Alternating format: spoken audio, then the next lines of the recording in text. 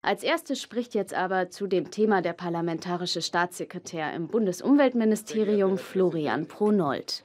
Liebe Kolleginnen und Kollegen, wir reden über ein ernstes Thema, nämlich über die Gesundheit von Menschen in den Städten. Und wir stellen fest, dass es allgemein in der Wissenschaft anerkannte Grenzwerte gibt für Stickstoffdioxid, die seit 1999 beschlossen worden sind, 2008 auch nochmal durch die Bundesregierung bestätigt worden sind, die in der gültigen Verordnung stehen äh, und die helfen sollen, dass Menschen auch im Außenbereich unterwegs sein können, die besondere Vorerkrankungen haben wie Asthma, dass kleine Kinder, die besonders anfällig sind, Babys auch geschützt werden vor schädlichen Umwelteinwirkungen. Und darum geht es im Kern. Und jetzt erleben wir hier zwei Anträge, die versuchen zu vernebeln äh, und die im wahrsten Sinne des Wortes versuchen zu verharmlosen und auch die Automobilindustrie aus ihrer Verantwortung für die Nachrüstung zu nehmen, weil es nämlich so ist, dass eine ganze Menge der zugelassenen, legal zugelassenen Diesel-Pkw sechs bis achtmal mehr NOx ausstoßen als vorher im Labor.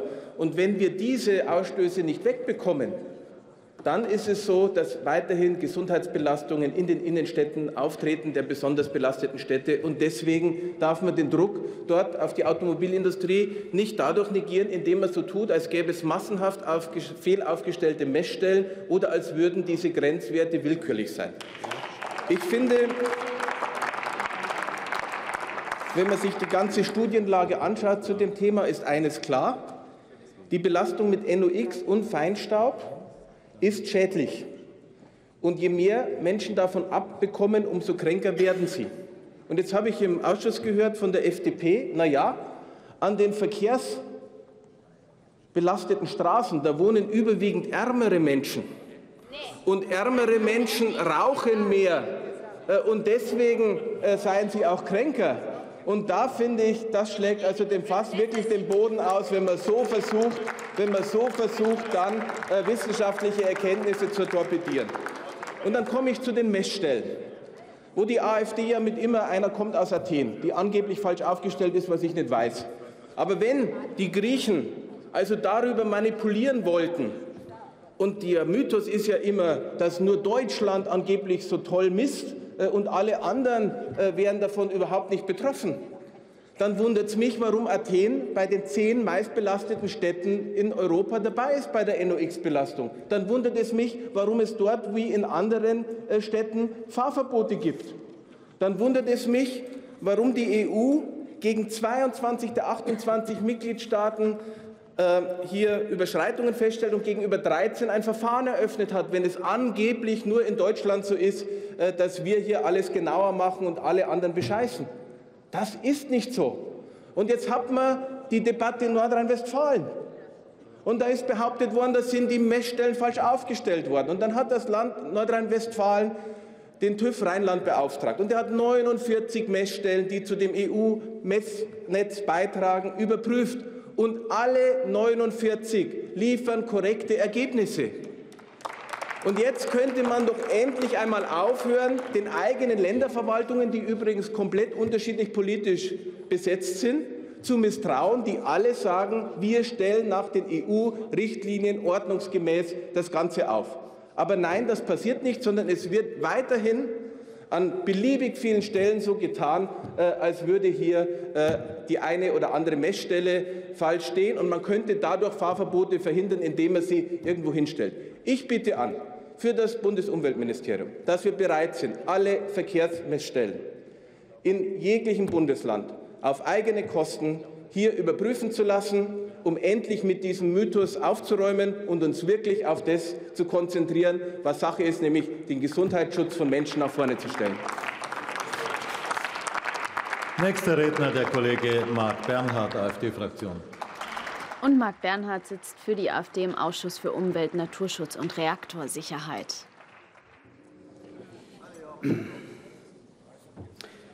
Herr Präsident, sehr geehrte Kollegen! Seit einem, fast einem Jahr reden wir jetzt über Dieselfahrverbote.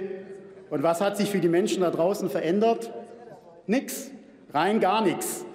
Bereits im März haben wir einen Antrag zur wissenschaftlichen Überprüfung des Stickstoffdioxidgrenzwertes eingebracht. Und liebe Kollegen von der FDP, diesen Antrag haben Sie vor wenigen Wochen abgelehnt, um jetzt, um jetzt selbst dasselbe selbst zu beantragen. Daran sieht man, dass es Ihnen nicht darum geht, den Menschen da draußen zu helfen, sondern nur um reine Selbstdarstellung. Selbst, selbst die von uns beantragte öffentliche Anhörung mit Experten haben Sie gemeinsam mit allen anderen Fraktionen abgelehnt. Aber seien Sie unbesorgt, bei uns geht es um die Sache und nicht wie bei Ihnen um politische Spielchen. Und daher werden wir Ihrem Antrag zustimmen. Eine Woche, eine Woche vor der Wahl in Hessen hat die Bundeskanzlerin den Bürgern versprochen, im Gesetz klarzustellen, bis 50 Mikrogramm gibt es keine Fahrverbote. Nun, liebe Kollegen von der CDU, ab Januar soll es tatsächlich Fahrverbote in vielen Städten geben. Und die Menschen daraus, da draußen fragen sich zu Recht, wo bleibt Ihre versprochene Gesetzesänderung? Und selbst wenn ein Adventskranz und selbst wenn, wenn selbst ein Adventskranz den aktuellen Grenzwert überschreitet, dann ist sicher nicht der Adventskranz das Problem, sondern der Grenzwert. Und wie Sie in der Zeit lesen konnten, wie Sie alle in der Zeit lesen konnten, kam dieser Wert zustande, weil völlig ratlose Experten der WHO die Erhöhung des Stickstoffdioxids in der Küche durch einen Gasherd abgeschätzt haben. Von Brüssel wurde dann daraus völlig willkürlich ein Grenzwert von 40 Mikrogramm für die Außenluft zusammengebastelt. Bis heute gibt es keinen einzigen Beleg dafür, dass die Zahl irgendetwas mit gesundheitlichen Auswirkungen zu tun hätte. Und wie erklären Sie sich eigentlich, dass von 28 EU-Staaten neben Deutschland nur zwei verklagt werden, obwohl in ganz Europa die Situation in den Innenstädten ähnlich ist und überall die gleichen Autos gefahren werden? Das liegt einzig und allein daran, dass die Messstationen praktisch nach Belieben aufgestellt werden können. Und so ist der Manipulation Tür und Tor geöffnet. Und genau das passiert auch. Messstationen werden in Deutschland so aufgestellt, dass es zwangsläufig zu Fahrverboten kommen muss. Allein wenn die Messstation nur um vier Meter weiter von der Straße weggestellt wird, verringert sich das Stickstoffdioxid schon um 40 Prozent. Und Oldenburg bringt den ganzen Irrsinn auf den Punkt. Dort wurden an einer Straße, die wegen einem Marathonlauf gesperrt war, fast 40 Mikrogramm gemessen. Und das Umweltbundesamt hält die Messwerte nicht nur für plausibel, sondern gibt sogar zu, dass das Stickstoffdioxid in der Luft ohne ein einziges Auto fast den Grenzwert erreicht. Jeglicher Straßenverkehr führt also ganz zwangsläufig zu einer Überschreitung dieses willkürlichen Grenzwerts und damit zu Fahrverboten. Und zu allem Überfluss sind die Fahrverbote auch völlig nutzlos. In Stuttgart sollen die geplanten Fahrverbote nur zu einer Absenkung der NOx-Werte um 4,6 Gramm Mikrogramm führen. Bei einem Ausgangswert von 61 also gerade mal um lächerliche 7 Prozent. Und in Hamburg sind die Stickstoffdioxidwerte seit dem Fahrverbot Anfang Juni sogar noch gestiegen. Aber andere Frage stellt sich, aber wer klagt denn eigentlich diese sinnlosen Fahrverbote und sogar die Sperrung von Autobahnen in ganz Deutschland ein? Die sogenannte Deutsche Umwelthilfe, ein obskurer Verein mit weniger als 300 Mitgliedern, ein Verein, der sein Geld damit verdient, dass er kleinen Gewerbetreibenden Abmahngebühren abpresst. Höhnisch nennt man das dann ökologische Marktüberwachung. In einem anderen Milieu würde man von Schutzgelderpressung sprechen. Die deutsche Umwelthilfe überzieht Städte und Gemeinden mit Fahrverbotsklagen, finanziert durch sie von der Regierung und vor allem durch ausländische Industriekonzerne wie Toyota. Und das Stra strategische Ziel ist klar, die Zerstörung der deutschen Automobilindustrie und Millionen von Arbeitsplätzen. Dieses bizarre Schauspiel muss endlich beendet werden. Und noch und noch ein letzter Satz und noch ein letzter Satz zu den Kollegen der CDU. halten Sie sich nur ein einziges Mal an eines Ihrer Wahlversprechen und sorgen Sie dafür, dass es, wie von der Kanzlerin versprochen, zu keinen Fahrverboten kommt. Marc Bernhard von der AfD war das und er hat es hier angesprochen, die Bundesregierung versucht durch die Änderung des Bundesemissionsschutzgesetzes hier Fahrverbote zu verhindern, indem sie nämlich gesagt hat, dass in Städten mit einer Stickoxidbelastung von unter 50 Mikrogramm pro Kubikmeter die Fahrverbote in der Regel nicht verhältnismäßig seien. Und die Kommunen können dann allerdings selbst entscheiden, ob sie Fahrverbote für nötig halten oder nicht. Damit sollen dann solche Fahrverbote, wie sie jetzt eventuell durch Klagen erreicht wurden, nicht mehr vorkommen können. Als nächstes spricht Carsten Böhring von der Unionsfraktion. Der EU auf die verschiedenen Stufen Vertragsverletzungsverfahren Verfahren bis hin zur Klage vom EuGH gesagt hat, behauptet nach wie vor, es seien nur zwei Länder. Ich verstehe auch nicht, warum er uns einerseits vorwirft, wir machen die Messstellen so, dass Fahrverbote entstehen, während wir hier alles tun, um Fahrverbote zu vermeiden. Also konsistent ist das auch nicht. Aber kommen wir mal zum Kern des Themas, um das es hier geht. Und machen wir uns mal ein paar Punkte klar, weil wir in der Tat es hier mit gesundheitlicher Beeinträchtigung zu tun haben. Bei der gesundheitlichen Beeinträchtigung, bei der Lebensdauer eines Menschen haben wir interne Faktoren, die hängen vom Einzelnen ab, wie viel er sich bewegt, wie viel er raucht, wie viel er isst, aber auch externe Faktoren, Arbeitsunfälle, Verkehrsunfälle, aber auch Umweltbelastungen, Gifte und gesundheitsschädliche Stoffe in der Luft.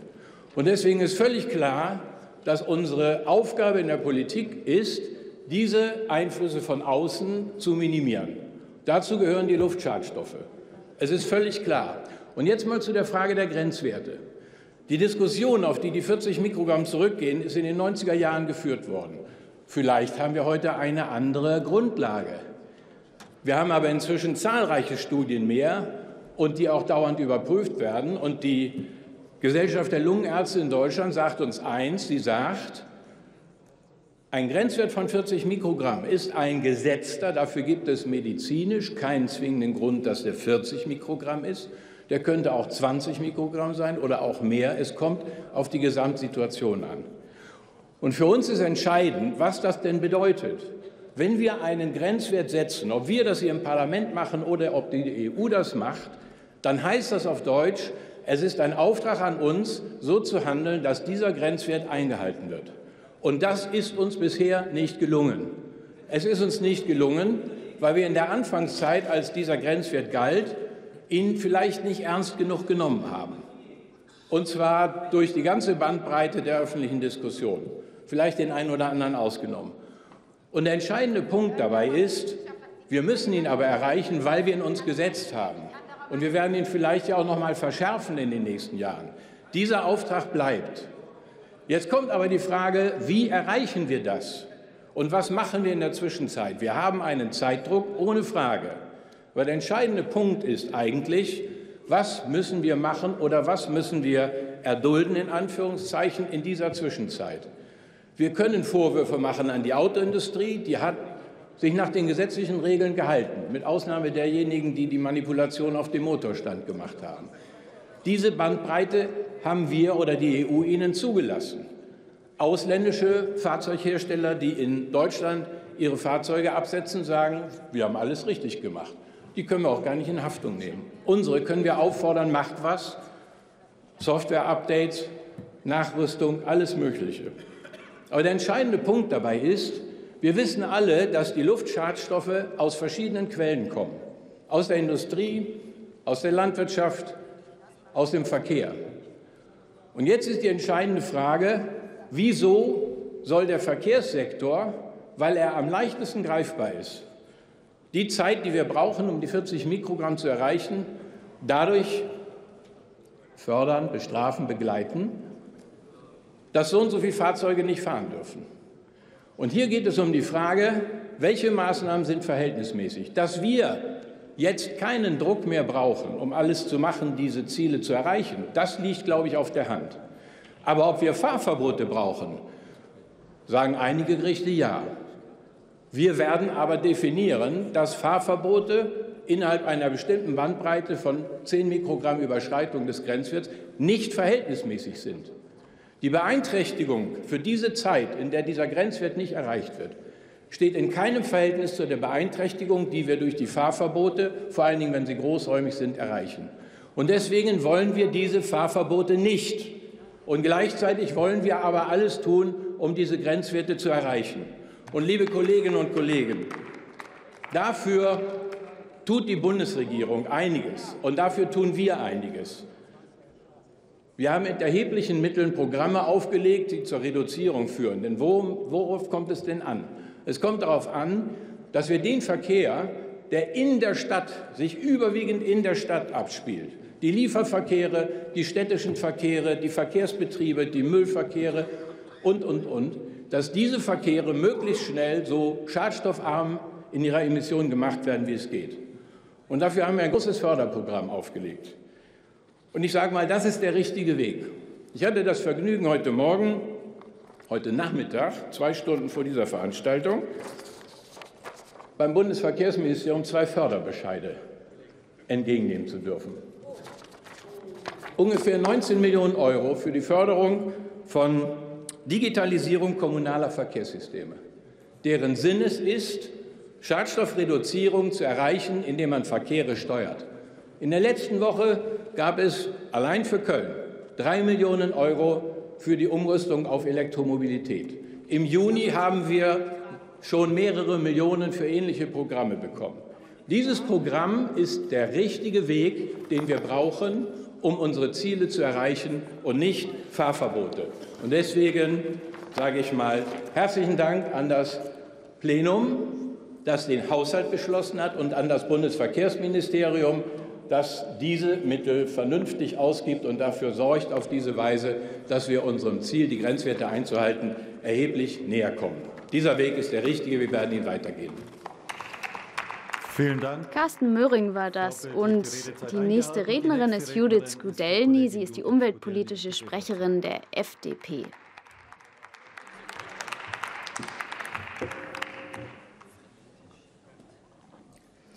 Ja, meine Damen und Herren, seit Februar diesen Jahres ist klar, dass das Bundesverwaltungsgericht entschieden hat, es kann und es wird voraussichtlich zu Fahrverboten in Deutschland kommen. Und jetzt schauen wir doch zunächst einmal, was hat sich denn seit Februar getan? Das Erste, was wir gemerkt haben, ist, dass die Dieselfahrerinnen und Dieselfahrer in Deutschland kalt enteignet worden sind. Kalt enteignet zum einen, weil der Restwert ihrer Fahrzeuge dramatisch eingebrochen sind und kalt enteignet im zweiten, auch weil sie ihre Fahrzeuge nicht mehr im vollen Umfang so nutzen können, wie sie sie ursprünglich nutzen wollten. Und das, obwohl viele von ihnen sich mit Absicht für ein umweltfreundliches Fahrzeug entschieden haben. Und es gilt nicht nur für Euro 4 und Euro 5 Fahrzeuge, sondern seit Herr Resch durch die Lande läuft und sagt, die Euro 6 sind auch bedroht, gilt es auch für Dieselfahrer der Euro 6 Klasse. Und das sind Neufahrzeuge, meine Damen und Herren. Als zweites haben die Menschen natürlich darauf reagiert. Sie haben sich andere Fahrzeuge gekauft, aber nicht, wie viele hier im Haus hoffen, mit alternativen Antrieben. Von 100 Fahrzeugen, die die Bundesregierung anschafft, sind auch nur fünf Fahrzeuge mit alternativen Antrieben. Die allermeisten Neufahrzeuge, die gekauft werden, sind Benziner und die haben eben einen höheren CO2-Ausstoß. Und deswegen, wenn wir beim Kraftfahrzeugbundesamt gucken, was ist denn passiert? Wir stoßen viel mehr CO2 im Verkehrsbereich aus und damit haben wir den Teufel mit dem Beelzebub ausgetrieben. Und wer denkt und wer wirklich denkt, dass die Fahrverbote dazu führen, dass die Luft sauberer wird, der hat nicht nach Hamburg geschaut. Zum einen erhöhen sich dort an den Messstellen die Grenzwerte und zum anderen fahren die Leute außen rum. Und wenn wir mit dem Urteil von Düsseldorf schauen, was passiert, dann werden die Emissionen verlagert von den Innenstädten, von den Hauptstraßen in die Wohngebiete und von den Autobahnen in die kleinen Ortschaften. Und eine Verdrängung der Luftbelastung kann ja wohl nicht das Ziel der Umweltpolitik dieses Bundeshauses sein. Und wer öffentliche Verkehrsmittel nutzt und ab und zu mal Straßenbahn fährt, der sieht auch den Gesetzesentwurf der Bundesregierung. Und ja, da sind gute Ansätze drin. Sie wollten, wollen bei der Verhältnismäßigkeit ansetzen. Das ist gut und richtig. Allerdings hat das Bundesverfassungsgerichtsurteil schon bezweifelt, ob das der richtige und vor allem juristisch tragbare Weg ist. Das wird die Zukunft noch weisen. Wir würden es auf jeden Fall wünschen, weil es eine Maßnahme ist. Eine bessere Maßnahme wäre es aber tatsächlich, diese Fahrverbote im Kern zu vermeiden. Und das geht eben, indem man die Messstellen zunächst einmal überprüft. Und da gibt es zwei Wege der Überprüfung und zwei Wege, wie man es anschauen kann. Das eine ist das Wörtliche. Man nimmt ein Gesetz und guckt, wurde das Gesetz Wort für Wort umgesetzt. Und ja, da werden wahrscheinlich die meisten Messstellen richtig sein. Die Frage ist aber, treffen die Messstellen tatsächlich den Sinn und Zweck dieser Verordnung? Und da muss ich Ihnen sagen, Herr Pronold, nein, sie treffen es nicht. Weil da steht nämlich drin, wir wollen nicht den an- und abfahrenden Verkehr beispielsweise wie in Stuttgart und wie in München messen, sondern wir wollen die Hintergrundbelastung messen. Und das treffen wir damit nicht. Und deswegen finde ich es gut, dass Sie es überprüfen, aber bitte nicht nur in der wörtlichen, sondern auch in der sogenannten teleologischen Auslegung. Und da stehen die Messstellen eben nicht korrekt. Wir brauchen auch eine Überprüfung der Grenzwerte, weil tatsächlich ist ja nicht nur die Höhe der Belastung, sondern auch die Dauer der Belastung maßgeblich. Und wenn wir die Verantwortung denjenigen wieder zurückgeben möchten, die für das Wohl der Bürger vor Ort zuständig sind, dann müssen wir auch hier noch überprüfen, ob tatsächlich die Aufenthaltsdauer an den hochbelasteten Stellen so groß ist. Und wenn Sie schauen, am Neckartor gehen wenige kleine Kinder vorbei, da geht überhaupt niemand vorbei. Deswegen könnte man sagen, da ist vielleicht mehr Toleranz drin als an anderen Stellen, wo die Wohnbebauung, die Menschen sich einfach länger aufhalten. Damit wir diese Flexibilität haben und damit wir die Verantwortung wieder in die Kommunen geben können, sollten wir auch die Messstellen auf europäischer Ebene noch mal überprüfen. Und was das Moratorium betrifft, natürlich brauchen wir Zeit und wir brauchen eine Karenzzeit, wie es der Herr Möhring im Ausschuss gesagt hat. Wir brauchen ein Moratorium, wie wir es formulieren, und das können wir auch im Vertragsverletzungsverfahren noch auf europäischer Ebene verhandeln. Aber vielleicht sollten wir dann Menschen nach Europa schicken, die auch in der Lage sind, Vereinbarungen zu treffen. Der letzte ist eine Umweltministerin nach Europa gegangen, um CO2-Flottengrenzwerte zu verhandeln, hat den Willen der Bundesregierung nicht umgesetzt und hat sich dafür bei ihren eigenen Leuten in Deutschland feiern lassen. Das Dieselthema ist ein Chefthema. Wir sollten die besten Leute nach Europa zu schicken. Und wenn die Chefin selber mal damit reden würde, dann würden wir vielleicht auch das Moratorium bekommen. Und ein letztes, weil auch wir die DUH zugrunde lieben. Ein Punkt. Liebe Union, bitte keine untauglichen Anträge auf Parteiebene stellen, sondern verhindern, dass der Wirtschaftsminister die deutsche Umwelthilfe auch noch mit lukrativen Aufträgen versorgt. Das wäre mal ein ersten Schritt, um hier auch mal ein Zeichen zu setzen. Judith Skudelny, die umweltpolitische Sprecherin der FDP, war das. Und auf sie folgt jetzt der umweltpolitische Sprecher der Linksfraktion, Ralf Lenkert.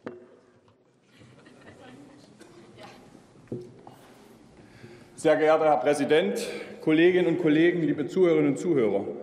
Hier wird viel über einen Durchschnittsgrenzwert geredet. Das ist ein Jahresmittelwert. Die Belastung geht von Spitzenwerten aus. Wenn ich diese rechte Seite höre, muss ich immer an ein altes russisches Sprichwort denken. Der Teich war im Durchschnitt einen Meter tief, trotzdem ist die Kuh ertrunken. Letzten Montag stand ich an einer stark befahrenen Kreuzung. Es war kalt, es war neblig. Neben mir stand eine Mutter mit ihrem Kinderwagen und dem zweiten Kind. Die Schwaden aus den Auspuffen waren genau am dichtesten, genau in Kopfhöhe der Kinder. Die Messstation, 25 Meter entfernt, nach Messvorschrift, vier Meter neben der Straße, nach Messvorschrift, zwei Meter in der Höhe, nach Messvorschrift. Ich kann Ihnen als Techniker ein was versichern. Der dort gemessene Mittelwert deckt viel ab, aber definitiv nicht die Belastung, die diese Kinder ausgesetzt sind. Und jetzt zu AfD und FDP. Und die wollen die Messwerte noch unrealer erfassen. Die neuen Forderungen lauten 50 Meter weg von Kreuzung, 10 Meter weg von der Straße, 4 Meter in die Höhe und dann auch noch 3 Meter Abstand zu jedem Haus. Im Klartext, überall dort, wie in Straßenschluchten, wo Belastungen hoch sind, werden sie zukünftig nicht mehr messen dürfen. Und was man nicht misst, das weiß man nicht und dann braucht man nichts machen. So eine Politik werden wir nicht mitmachen. Und liebe Autofahrerinnen und Autofahrer, eine Frage an Sie. Haben Sie schon mal im Stau hinter einem alten Diesel gestanden? Da wissen Sie, woher das Wort Stickoxide kommt. Die Messung, um zu vergleichen, wie denn eigentlich die Belastung von den jetzigen Messpunkten ansteigt zu dem, was Sie real einatmen, sei es als Fußgänger, als Radfahrer oder als Autofahrer über die Lüftung wurden nie durchgeführt. Zumindest habe ich nichts gefunden. Das Einzige, was ich fand, war eine Vergleichsmessung von einer Autobahn der A4 bei Olpe. Dort hat man folgende Werte gemessen, damit man mal sieht, wie sich das verändert. In 11 Metern Entfernung waren es 90 Mikrogramm im Jahresdurchschnitt. In 1,5 Meter Entfernung waren es schon 170 Mikrogramm. Und im Mittelstreifen, was in etwa dem entspricht, Wenn Sie an einer Kreuzung ohne Stau stehen, waren es 350 Mikrogramm. Das heißt, das sind ganz andere Werte. Und wenn man schon eine ärztliche Untersuchung sinnvoll machen will, dann müsste man gucken, wie diese realen Werte, denen wir ausgesetzt sind, wirken und nicht wie ein Fantasiemittelwert über das ganze Jahr gemittelt. Und jetzt möchte ich mal mich fragen, wie kommt es eigentlich, dass die FDP die Grenzwerte weiter verwässern will? Verwässern, also verwässern, noch schlechter machen will. Und da kann ich nur eins sagen. Da wundert es natürlich nicht, wenn man sieht, dass sie 50.001 Euro kriegt von der Familie Quandt, 50.001 Euro als Großspende von der Familie Klatten und von dem nicht ganz unbedeutenden Autovermieter Six 55.000 Euro. Das sind die Silberlinge, die sie erhalten, damit die Grenzwerte aufgeweicht werden. Und statt Messvorschriften einzustampfen, statt, statt als Kompagnon von Betrügern zu arbeiten, sollten für uns als Linke die zur Kasse gebeten werden, die den ganzen Schlamassel verursacht haben. Daimler, BMW und VW haben von 2014 bis 2017 117 Milliarden Euro Gewinn ausgewiesen. Davon 55 Milliarden allein in den letzten zwei Jahren. Da soll es doch möglich sein, dass Sie 10 Milliarden Euro für die Nachrüstung der Diesel-PKWs mit Katalysatoren ausgeben, als Strafe für falsche Verbrauchsangaben. Und dann können die Konzerne auch durchaus dafür zahlen, dass, wenn die Grenzwerte gerissen werden sollen, der öffentliche Personennahverkehr in diesen Regionen kostenfrei ist. Sie bezahlen dann die Fahrscheine. Und ganz nebenbei können Sie, und ganz, ganz nebenbei können Sie natürlich dann für Stuttgart und für andere Städte noch Erdgas- oder Wasserstoffbetriebene Busse bereitstellen auf Ihre Kosten als Kompensation für Ihren Betrug. Wenn man das macht, wenn man das macht, wird die Luftqualität besser. Und für die Schummelsoftware muss es auch noch eine Strafe geben. Und mit dieser Strafe finanzieren wir die Nachrüstung von Baufahrzeugen. Mit dieser Strafe finanzieren wir die Nachrüstung von Bussen. Dann, liebe Zuhörerinnen und Zuhörer, haben wir ein ganz anderes Ergebnis. Dann brauchen wir keine Fahrverbote, nicht weil wir bei den Messwerten schummeln, sondern weil die Luft einfach besser geworden ist. Vielen Dank. Der nächste Redner für Bündnis 90 Grüne, der Kollege Oliver Grischer. Und er ist der stellvertretende Fraktionsvorsitzende. Herr Präsident, liebe Kolleginnen und Kollegen! Der Sinn von Grenzwerten ist, dass man sie einhält, um die Gesundheit von Menschen zu schützen, und dass der Staat alles dafür tut, dass diese Grenzwerte auch eingehalten werden. Und wenn ich mir Ihren Antrag, liebe Kolleginnen und Kollegen von der FDP, angucke, da kann niemand, niemand, der einen solchen Antrag stellt, das ernst meinen. Sie wollen am Ende nur, und darum geht es doch, darum geht es doch, Sie wollen diesen Grenzwert weghaben, weil Sie die Interessen der Automobilindustrie vertreten, weil Sie das wichtiger finden als die Gesundheit der Menschen. Das muss man doch mal klipp und klar sagen. Sie fordern, Sie fordern in Ihrem Antrag ein zehnjähriges ein Moratorium für einen Grenzwert, der zehn Jahre schon gilt. Und vorher haben Sie sich nie mit diesem Grenzwert auseinandergesetzt. Das hat Sie nie interessiert. Erst als er relevant wurde, da kamen Sie dann plötzlich an. Und das zeigt doch ganz ehrlich, dass es nicht um Gesundheitsschutz geht, dass es einfach hier um Partikularinteressen geht. Und Frau Skudelny, eines sollte Ihnen doch mal zu denken geben, dass Sie jetzt schon einen Wettbewerb mit der AfD über das Urheberrecht haben, dass da Anträge vorliegen, die bis in die wörtliche Formulierung identisch sind. Wo positioniert sich die FDP da eigentlich bitte im Spektrum? Diese Frage sollten Sie doch intern mal diskutieren, wo Sie da laufen.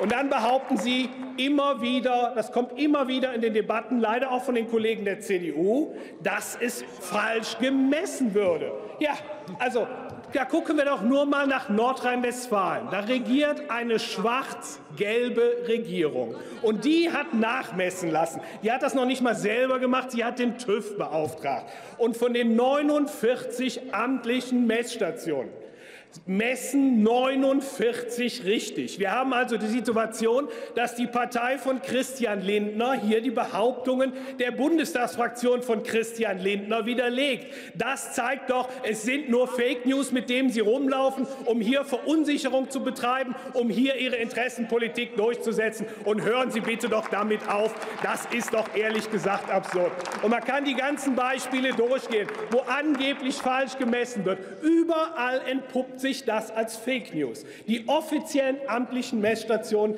da wird in Deutschland richtig EU-konform gemessen. Das sieht man auch daran, dass Sie es vorher nie problematisiert haben, wo Sie selber teilweise auch dann hier in Regierungsverantwortung haben. Das zeigt, es geht Ihnen um was ganz anderes. Es geht Ihnen am Ende nur darum, hier die Interessen der Automobilindustrie durchzusetzen, weil sonst würden Sie in so einem Antrag, den Sie hier vorlegen, auch mal eine Hardware-Nachrüstung fordern und nur eine konkrete Maßnahme fordern, wie man denn die Luft besser machen kann. Da findet sich in Ihren Antrag aber kein einziges Wort zu. Kein Wort zu. Herr Kollege, gestatten Sie eine Zwischenfrage aus der FDP-Fraktion? Gerne.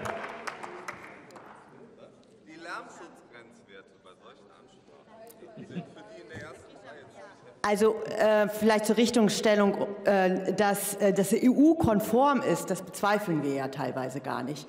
Aber jetzt noch zu meiner Frage. Wie beurteilen Sie denn ähm, die Situation in Oldenburg, bei denen erhöhte Messwerte an Tagen festgestellt worden ist, wo gar keine Autos gefahren sind, sondern wo ein Marathon stattgefunden hat? Ja, also über die Ursachen von Stickoxidbelastungen hat der Kollege Möhring eben etwas Richtiges gesagt, dass es natürlich nicht nur den Straßenverkehr gibt, sondern dass es andere Belastungen gibt. Aber Ihre Frau Skudelny hat zum Beispiel in der Einbringungsrede hier, als Sie den Antrag eingebracht haben, ist auch von anderen Kollegen äh, gekommen, behauptet, in der Stadt Aachen, wo ich herkomme, da würde falsch gemessen, da würde alles schieflaufen. Was ist in Aachen? Was ist in Aachen Fakt? Die beiden offiziellen offiziellen Messstationen des Landes messen selbstverständlich richtig. Nur die Stadt hat selber noch mal nachgemessen und da war dann bei den 30 Messstationen eine, die tatsächlich falsch hing. Aber da ist inzwischen rausgekommen, das ist das Interessante, wenn man sie anders aufhängt, ist der Wert sogar noch gestiegen. Also äh, interessant, was Sie da verbreiten. Ist die Frage Einfach damit beantwortet? Gut. So, und ich möchte hier und ich möchte hier noch, weil ich das in der Debatte sehr, sehr wichtig finde, das kam ja gerade auch, einen Satz zur deutschen Umwelthilfe sagen und zu dem, was sich hinter dieser Debatte versteckt. Ich finde es ehrlich gesagt einen Skandal, dass hier Umweltorganisationen, die nichts anderes tun, die nichts anderes tun, als gültige Gesetze vor Gericht einzuklagen, dass die hier kriminalisiert werden und dass man das und dass man das hier von dem rechten Spektrum, da erwarte ich ja gar nichts anderes.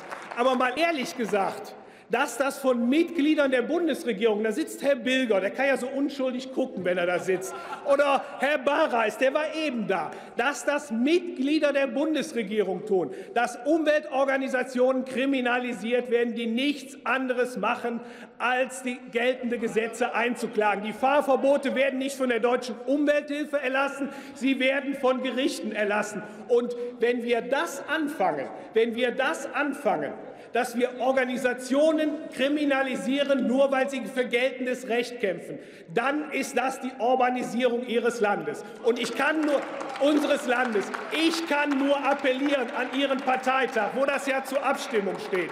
Überlegen Sie sich genau, was Sie da machen an der Stelle, weil sonst werden wir hier Debatten führen und zum Beispiel auch mal die Frage aufwerfen, warum eigentlich der Verband der deutschen Automobilwirtschaft ein gemeinnütziger Verein, der zentrale Lobbyverband ist. Das erschließt sich mir nicht, und ich würde ungern diese Debatten hier führen. Aber wenn Sie dieses Feld aufmachen und hier Organisationen kriminalisieren, Herr dann wird Kollege es das Grischer, geben. kommen Sie und bitte das zum kann ehrlich Ende. gesagt in einem Rechtsstaat nicht sein. Dann ist hier nicht nur die Gesundheit und die Umwelt gefährdet, dann ist auch der Rechtsstaat gefährdet, wenn wir uns auf diese Ebene begeben, meine Damen und Herren. Der nächste Redner ist Oliver Krischer war das und er hat das angesprochen, dass es einige Kritik an der deutschen Umwelthilfe gibt, die die ganzen Klagen hier für Fahrverbote führt, ob es sich bei der deutschen Umwelthilfe um eine gemeinnützige Organisation handelt. Als nächstes kommt jetzt Arno Klare von der SPD. Ja, sie sind es. Ich kenne 150 Studien, 120 davon habe ich gelesen. Und äh, in allen, allen Studien stehen genau diese Werte drin. Und die WHO, die WHO macht Metastudien und legt dann die, hat dann diesen Wert festgelegt. Also der Wert ist valide. Was sollte getan werden? Was kann man tun? Und ein Stichwort ist gerade schon mal gefallen. Das ist sehr wichtig. Technische Hardware-Nachrüstung ein Fahrzeug. Aus dem Programm Saubere Luft, eine Milliarde steckt da drin, machen wir das. Das geht bei ÖPNV-Bussen, das geht bei Fahrzeugen des öffentlichen Verkehrs, also was den Städten gehört, das geht auch bei Taxen. Und das, was aussteht, natürlich die Masse der Fahrzeuge, das sind die Pkw in privatem Besitz. Und da kann ich jetzt ganz offen sagen, wir haben drei Jahre verloren. Denn die Hardware-Nachrüster, der deutsche Mittelstand übrigens, sehr erfinderisch, mit ganz vielen Arbeitsplätzen, der hat genau diese Hardware-Nachrüstung seit Jahren schon entwickelt gehabt. Und äh, wir haben es ein wenig verabsäumt, dort ein bisschen na, den Druck zu entfalten, der notwendig gewesen wäre. Jetzt haben sich dankenswerterweise Daimler und VW bereit erklärt, 3.000 Euro pro Fahrzeughalter oder pro Fahrzeug zu geben, um die Nachrüstung zu vollziehen. Ein sehr wichtiger Schritt. Und am letzten Donnerstag in dieser Woche, am vergangenen Donnerstag, hat das erste Treffen zwischen diesen Nachrüstfirmen und Daimler in Stuttgart stattgefunden. Und ich warte jetzt darauf, dass VW mal zu einem ähnlichen Termin einlädt. Zweiter Punkt, der sehr wichtig ist, alternative Antriebe. Auch das ist gerade schon gefallen. Das heißt, wir müssen viel mehr setzen auf E-Fuels, also auf die synthetischen Kraftstoffe. Wir müssen aus Sonne und Wind gewonnene Kraftstoffe sind das ja. Da verbindet sich die, die Energiewende mit der Verkehrswende, Sektorkopplung. Das müssen wir hinbekommen. Und wir brauchen als dritten Punkt natürlich so etwas wie Verkehrslenkung. Auch meine Stadt, kann ich Herr Möhring, haben wir es ja gerade schon mal getroffen, auch wir haben in Mülheim an der Ruhr Zuwendungen dieser Art bekommen. Bin auch sehr dankbar, um jetzt den Verkehr in Mülheim an der Ruhr besser lenken, steuern zu können, flüssiger zu halten. Aus dem Programm Saubere Luft ist das übrigens. Und der letzte Punkt, den ich ansprechen will, ist ÖPNV-Optimierung. Auch das ist im Programm Saubere Luft angesprochen und wird ja auch finanziert und wird auch abgerufen. Herr Kollege, gestatten Sie eine Zwischenfrage aus der AfD-Fraktion? Nein, das möchte ich jetzt das im Zusammenhang sagen. Und ähm, diese ÖPNV-Optimierung auch in dem Programm, auch in anderen Programmen. Wir werden das Gemeindeverkehrsfinanzierungsgesetz auf eine Milliarde anheben im Jahr. Das bedeutet, es gibt mehr Mittel, investive Mittel für den ÖPNV in den Städten. Wir haben in der letzten Legislaturperiode eine Milliarde draufgelegt bei den Regionalisierungsmitteln. All das hilft, dem öffentlichen Verkehr besser zu werden. All das hilft, die Werte herunterzubekommen, die Menschen vom Auto auf den öffentlichen Verkehr zu bekommen. Wir fördern Radwege, auch das ein wichtiges Programm, auch das jetzt im Bundesverkehrswegeplan sogar enthalten. Und das wird alles zusammengenommen dazu führen, dass die Werte besser werden. Und das, was gerade angemahnt wurde, nämlich die Novellierung des Bundesemissionsschutzgesetzes, hier ein Paragraph 40a wird im Januar, der Vorschlag ist schon längst da, der ist schon formuliert, wird im Januar im Bundesrat verhandelt werden Nein. und dann den Bundestag erreichen. Zu spät. Also zu sagen, da gäbe es nichts, ist schlichter Unsinn. Der Kollege Mario Miroch hat das Wort.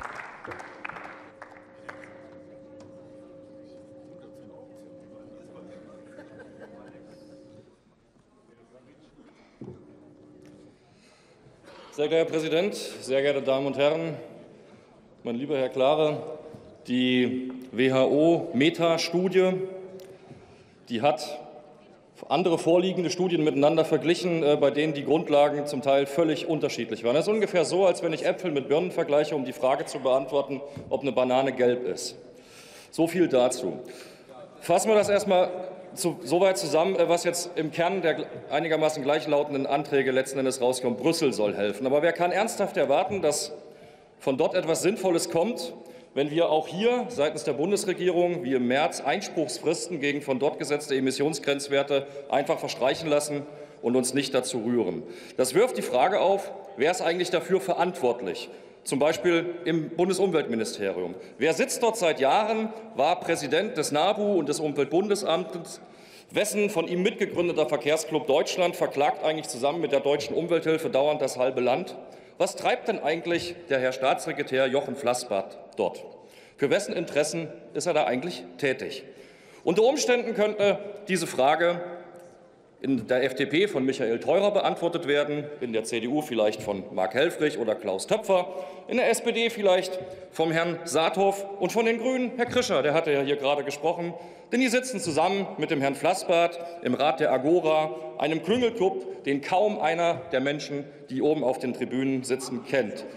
Dort sagt zum Beispiel der Herr Flassbart, in den Klimaschutzplan haben wir reingeschrieben, dass wir ab 2030 eigentlich keine Autos mit herkömmlichen Verbrennungsmotor mehr zulassen dürfen.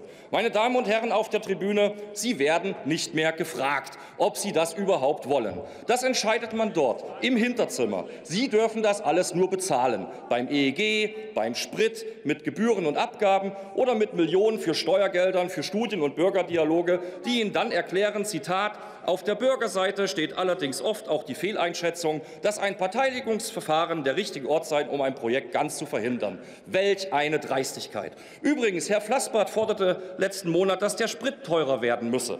Seine Begründung, die Strompreise wären angestiegen.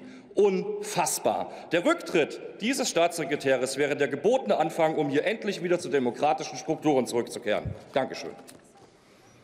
Mario Miruch war das und weil er fraktionslos ist, gibt es hier nicht wie sonst üblich Applaus, wenn er auf die, auf die Bühne, wollte ich schon sagen, zum Rednerpult tritt und auch nicht, wenn er seine Rede beendet. Für den nächsten Redner gab es das aber wieder. Felix Schreiner ist von der Unionsfraktion. Zurückzuführen und die gewohnt oftmals sehr emotionale Diskussion einfach auch mal sachlich zu betrachten. Und erstens möchte ich feststellen, dass es eben nicht stimmt, dass die Bundesregierung nichts macht. Die Stickoxidbelastung im Straßenverkehr sinkt seit Jahren kontinuierlich, seit dem Jahr 2000 übrigens um 60 Prozent. Infolgedessen sinkt die Zahl jener Städte, die den Grenzwert reißen. Wir haben das Sofortprogramm Saubere Luft und seit dem 1. Oktober auch ein Konzept auf den Weg, womit die NOx-Belastungen noch weiter senken. Und bis 2020, Herr Grischer, nehmen Sie das auch zur Kenntnis, werden die Städte, die die Stickstoffdioxidbelastungen eben nicht, die die überschreiten, deutlich ähm, unter dem sein zwischen dem, was wir heute erleben. Das sind alles übrigens Erkenntnisse, die aus einer Anfrage der Grünen Bundestagsfraktion stammen. Das sind Antworten der Bundesregierung auf Fragen, die Sie gestellt hätten. Ich hätte mir heute gewünscht, dass Sie darauf auch eingehen, wenn Sie schon parlamentarische Anfragen hier stellen, meine Damen und Herren. Und lieber Herr Grischer, es muss Ihnen auch gesagt werden, dass, aber eigentlich darf man sich gar nicht nur mit ihm beschäftigen, aber vielleicht sage ich es mal an die Allgemeinheit, dass ja die Förderprogramme, die auf den Weg gebracht werden, zum Beispiel in den Städten, was die Umrüstung der städtischen Flotten angeht, wo bisher nur die stinkenden Dieselbusse gemeint waren, wie sie so gern sie von Ihnen erwähnt werden, dass man mittlerweile die kompletten städtischen Flotten umrüsten kann. Auch das hat die Bundesregierung auf den Weg gebracht, aber auch davon hört man heute nichts von Ihnen. Nein, Sie zeigen mit dem Finger auf die Bundesregierung, sagen, die Bundesregierung muss das alles mal machen. Aber ich sage Ihnen auch, gerade diese Maßnahmen, die wir jetzt auf den Weg gebracht haben, die in den Kommunen vor Ort auch umgesetzt werden müssen, die betreffen Sie genauso, weil nur mit dem Finger auf den Bund zu sagen, ist manchmal zu wenig, wenn man selber an zahlreichen Landesregierungen beteiligt ist, meine sehr geehrten Damen und Herren. Und das führt mich zum dritten Punkt. Ich glaube, wir tun gut daran, dass wir zusammen mit dem Deutschen Wetterdienst die Messstellen überprüfen. Sehr geehrter Herr Staatssekretär Bronold, ich habe jetzt im Vorfeld Ihrer Rede bereits über den ARD-Ticker gelesen, was Sie alles sagen in der Rede. Das war ein bisschen vorher, bevor Sie schon gesagt haben. Und ich habe dort auch gesehen, dass das Bundesumweltministerium ja auch die Überprüfung der Messstellen anordnet. Und das finde ich grundsätzlich positiv und das begrüßen wir auch als Fraktion. Wir sagen Folgendes. Wir sind der Meinung, dass wir die Bedeutung der Messwerte in den Mittelpunkt stellen müssen, uns eben nicht darum geht, die schlechtmöglichsten Messwerte zu messen, sondern reale Messwerte und realistische Schadstoffwerte ermittelt werden. Darum geht es in der Diskussion. Und es liegt deshalb, ist es so wichtig, weil ja, wenn wir in den ganzen Gerichtsverfahren darüber diskutieren, da stellen wir doch fest, dass in den Verwaltungsgerichtsverfahren eben gerade diese Messwerte der essentielle Punkt ist und dass die Menschen ja auch wenn sie zu uns kommen, zu Recht anmerken. Und zu Recht geht es da um die Messwerte und es geht um vergleichbare Messwerte in ganz Deutschland, sehr geehrte Damen und Herren. Wir haben die Verkehrsminister der Länder zu einer Verkehrsministerkonferenz beisammen gehabt. Und da wurde zum Beispiel auch vereinbart, dass man sich kooperativ auf den Weg macht, um diese Messstellen zu überprüfen. Messstellen kooperativ. Kooperativ ist das Stichwort. Es gab eine Protokollerklärung, zum Beispiel des Landes Baden-Württemberg, des Landes Berlin, von Bremen und von Hessen, die dem Beschlussvorschlag nicht zustimmen. In der weiteren steht dann, ich zitiere mit Erlaubnis des Präsidenten, wenn in einzelnen Ländern Anlass besteht, soll eine Überprüfung durch die zuständigen Landesbehörden erfolgen. Kooperativ geht anders, lieber Herr Krischer und liebe Kollegen von den Grünen. Sie stellen sich hier hin, sagen, die Bundesregierung tut nichts. Dabei haben Sie selber auch in der Hand, in den Ländern Kontrollen und die Überprüfung der Messstellen anzuordnen. Das können Sie alles auch vor Ort mitmachen. Und liebe Kolleginnen und Kollegen, ich komme damit zum Punkt 4. Ich glaube, dass es richtig ist, dass wir die Novellierung des Bundesemissionsschutzgesetzes auf den Weg bringen und dass wir auch den Begriff der Verhältnismäßigkeit dort mit auch neu definieren. Die Frage ist doch, sind Fahrverbote verhältnismäßig? Und das ist die Frage, die uns die, die Menschen zurechtstellen. Und es muss eben auch geregelt sein, dass in Städten, in denen die Grenzwerte von 40 Mikrogramm zum Beispiel nur geringfügig überschritten werden, eben Fahrverbote in der Regel nicht verhältnismäßig sind. Allein diese Regelung betrifft Millionen Menschen in Deutschland, und deshalb ist es richtig, darüber zu diskutieren. Kurzum, wir sind da bereits aktiv als die Regierungsfraktionen, und es braucht eigentlich auch keinen Antrag von der FDP dazu. Aber zur AfD dann doch noch ein Satz zu glauben, wir müssten jetzt nur alle Messstellen zu verstellen und dann haben wir das Problem gelöst, das ist eben irgendwie AfD-Denke. Aber es ist auch zu kurz gesprungen in diesem Land. Ich glaube, das ist kein Beitrag wirklich dazu, wie wir dieses Problem hinbekommen. Und abschließend, ich möchte dann schon auch persönlich hin, darauf hinweisen. Wir alle sind in unseren Wahlkreisen gewählt von Bürgerinnen und Bürgern, die uns doch zu Recht die Frage stellen, was tut ihr eigentlich, um die Luft in unseren Städten sauber zu machen? Und wenn Sie da, Herr Krischer, sagen, wir sind da nur die Lobbyisten der Automobilindustrie.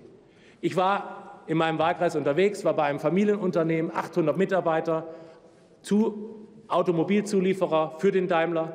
Und da stehen eben auch 800 Leute dann vor dir und sagen, sag mal, was tut ihr eigentlich? Wollt ihr das Problem lösen oder wollt ihr hier eine komplette Industrie an die Wand nageln? Und ich sage Ihnen eins, wir werden, das, wir werden die Diskussion und die ganze Thematik nur dann lösen, wenn wir beide schaffen nämlich den Automobilstandort Deutschland zu erhalten, Arbeitsplätze in Deutschland auch zu sichern und auf der anderen Seite die Mobilität der Zukunft hinzubekommen, fortzuentwickeln. Und nur wenn wir beide schaffen, werden uns auch andere Länder auf dieser Welt folgen. Das gehört auch zur Wahrheit, und das können Sie von den Grünen nicht ständig ausblenden. Herzlichen Dank. Ich schließe die Aussprache zu diesem Tagesordnungspunkt, und wir kommen zur Abstimmung über die Beschlussempfehlung des Ausschusses für Umwelt, Naturschutz und nukleare Sicherheit zum Antrag der FDP mit dem Titel Stickoxid-Grenzwert und Messverfahren auf dem Prüfstand. Während jetzt die Abgeordneten über diesen Antrag der FDP-Fraktion abstimmen, habe ich die Möglichkeit, Sie noch auf eine spätere Sendung hinzuweisen. Denn natürlich schauen wir auch, was international passiert. In Buenos Aires treffen sich ja die Staats- und Regierungschefs der G20-Staaten. Und ab 17.30 Uhr werden wir in der Tag über die dortigen Geschehnisse dann auch berichten. Damit ist die Beschlussempfehlung angenommen.